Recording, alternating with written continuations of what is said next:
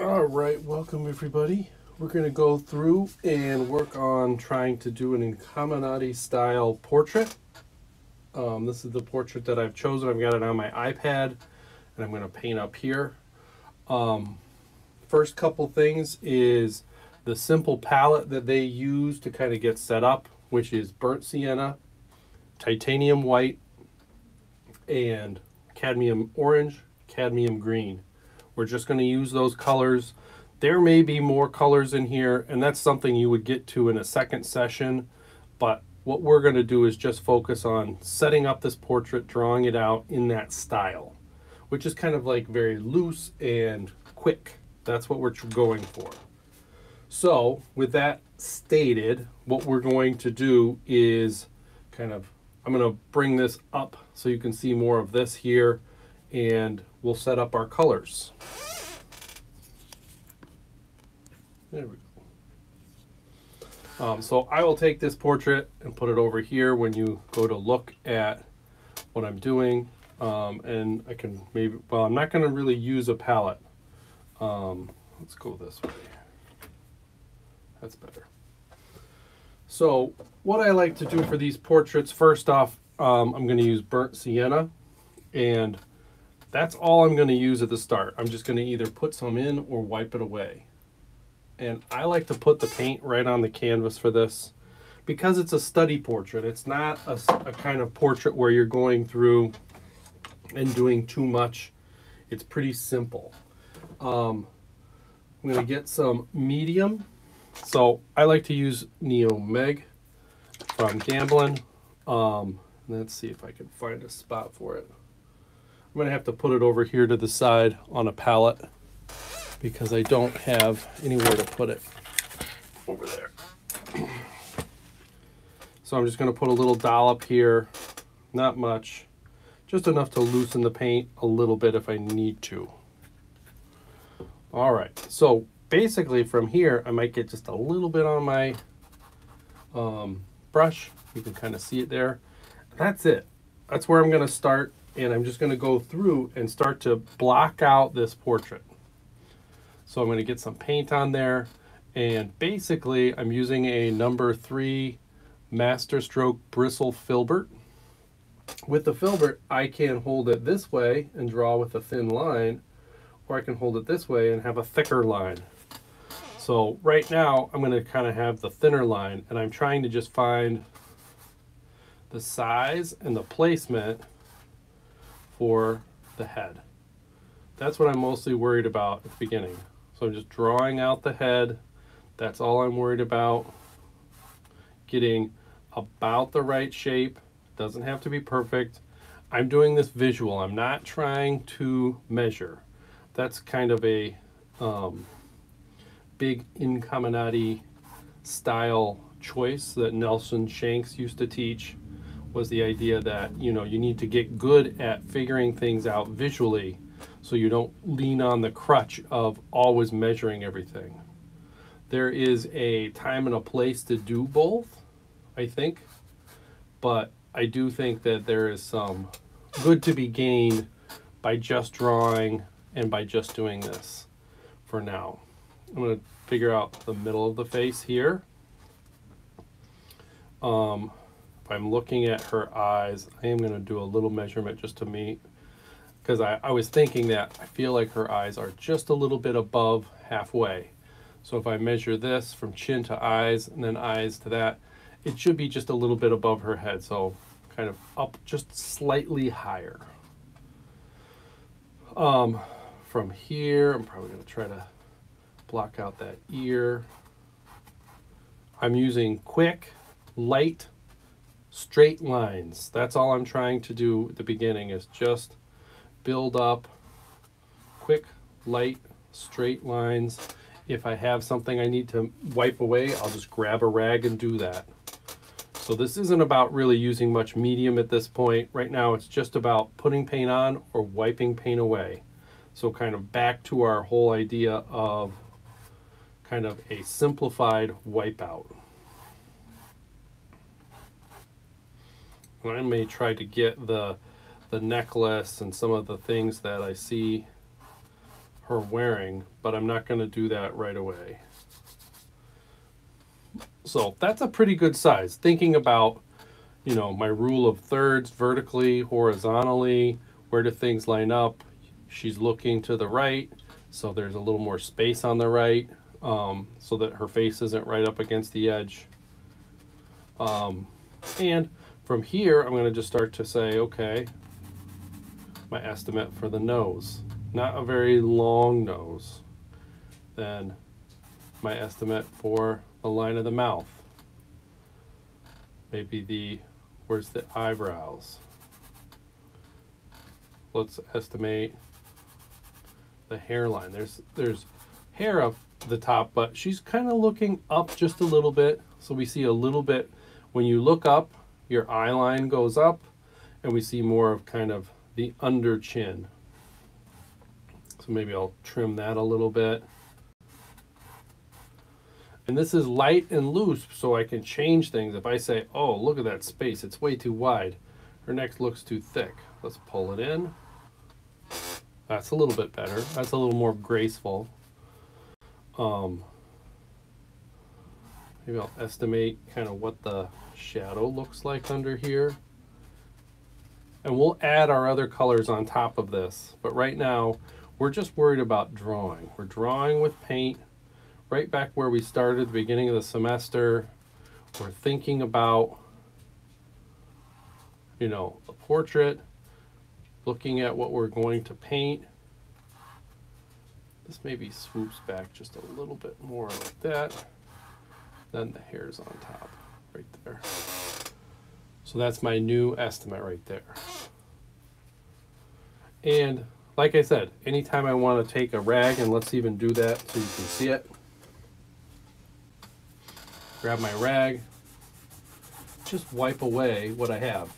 This has been primed with just a coat or two of acrylic gray paint so that I have a cool for a base and then I can draw with this burnt sienna which is warm. So I'm going to start to kind of find a little bit of the nose, the edge of the nose there's a decent amount of space between the edge of the cheek and the edge of the nose. So I don't want to let the nose get too close to the edge. Feeling kind of an angle, something like that. Starting to think about the, the T of the face where you cross the eyebrows together and then show the angle of the nose coming off of that. It helps to stay on that center line. I think the center line needed to move over just a little bit to the left. I think I put it too close to the right.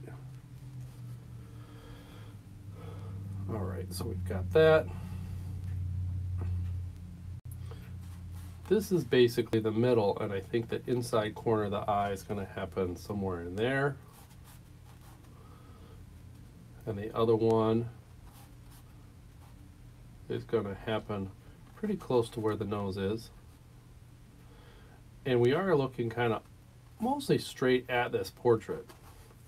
She's not looking too far up. I think we're seeing just a little bit. So if this was horizontal, maybe she's looking at, you know, 5%, 10% up, just barely above horizontal 100%.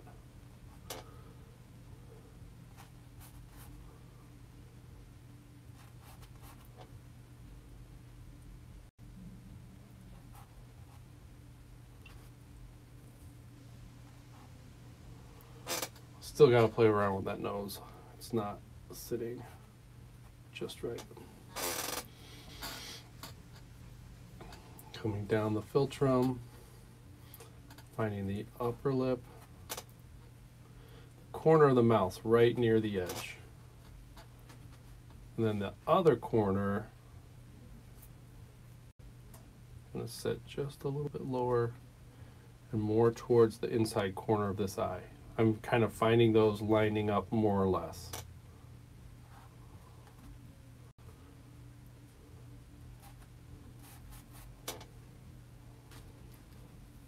So in the beginning, I'm really trying to keep angles simple. I'm not trying to outline the perfect lips. I'm not using my idea of what the lips look like, I'm going to use what I see. Exactly what I see. Trying to find those shapes. Base of the lower lips, those are moving and curling back towards the corners. It's got like just a little bit of an opening right in the middle of her mouth there. Nice shadow right underneath this. I'm to start using the side of the brush there. There's a shadow down here. And I think I might need to just drop that chin down a little bit. A little lower than it is.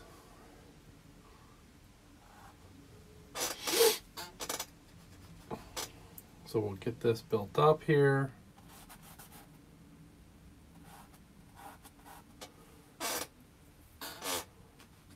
So notice I'm drawing, I'm still drawing. Get that roundness of the cheek there. That same thing is going to happen over here, but we're just seeing the side angle of it.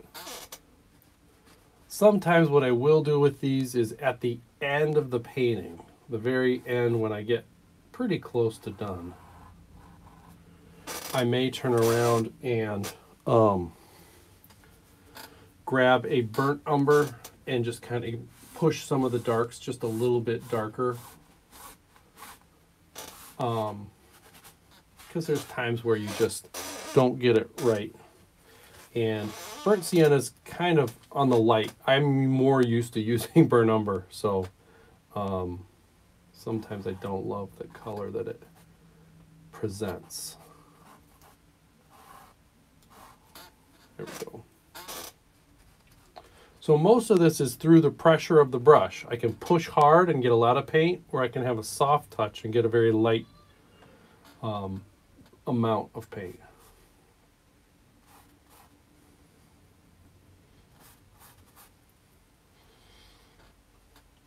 Um, overall, I would say that this model has very kind of dainty ears and has, you know, ears that are a little bit on the smaller side. Kind of redrawing that again. Shadow in here. Usually your ears are lining up with your eyebrows and your nose. If I'm looking at this and I kind of do that same up angle, it's lining up with the nose, the other one is lining more up with the eye line.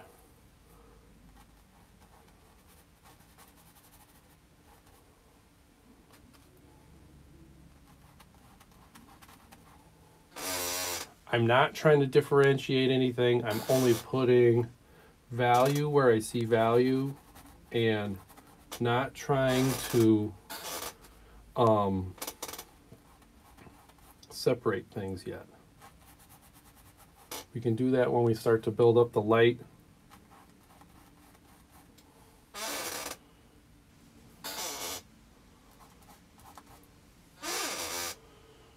Sorry, my chair is squeaky, so we will hear that as we go through. I might go through and kind of try to do this in some different stages. So kind of like the drawing stage and maybe getting some block in on some of the shadows. So shadow more up and above the eyebrow and eyelid here on the inside. And that kind of fades as it goes down. So lighter touch. We can have more of a strong eyebrow there. It turns out when it goes past that edge. So now I'm scrubbing a little bit with my brush. Scrubbing is going to eat your brushes up a little bit. If you kind of pull your brush up and just kind of keep pulling, you might lose a little less. But if you repeatedly take your brush and go back and forth, back and forth, back and forth. It's going to eat up the bristles and they'll get short and very springy. And that may be um, something you're not used to and you're not trying to do with your brush. So I try not to do it too much.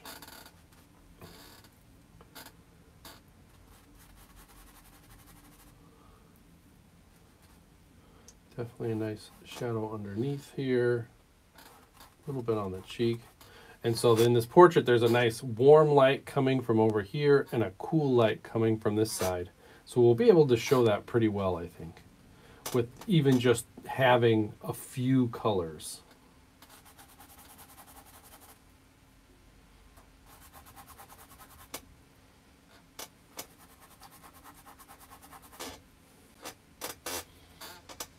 So I'm building up a little bit. It's like a light where the orange is hitting, and then anywhere else, you're getting a little bit of that light shadow edge showing up.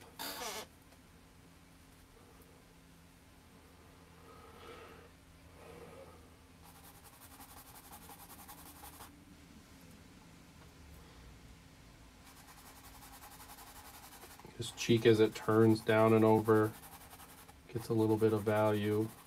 I think I went a little bit too long with that. I've got to kind of pull some of that away. I don't want her to look like she has sideburns. Definitely does not. A little more paint.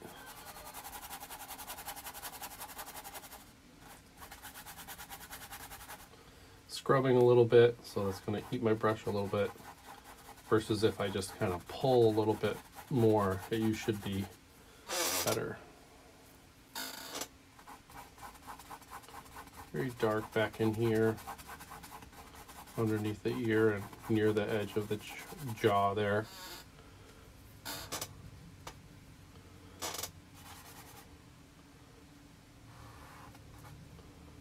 Try to see if I don't start to describe where some of these you know, different parts of the hair exist as they're kind of coming over and then wrapping back towards the hairline inside.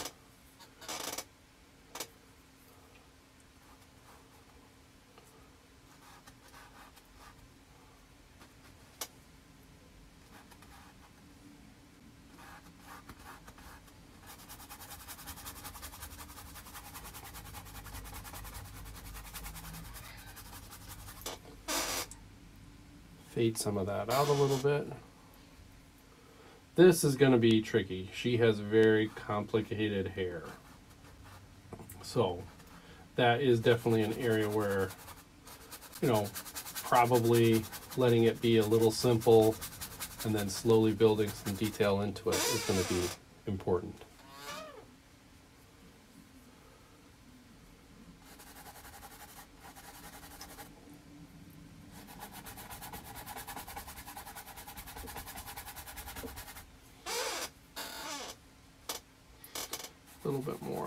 Value in here.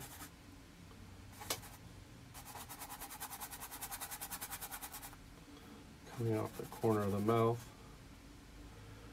underneath the lower lip, edge of the nose, a little bit right that fold next to the nose.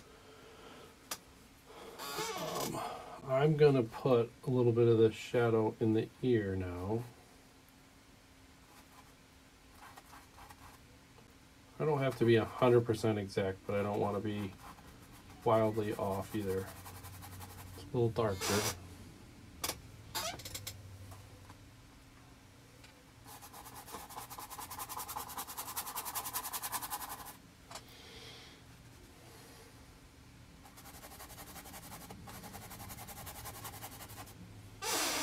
Overall, I would say that this is pretty good setup. So maybe we'll go ahead and take a little break, come right back, and we'll start in with some light and shadow and starting to add in some highlights and some whites so we can start to see how the portrait's going to look.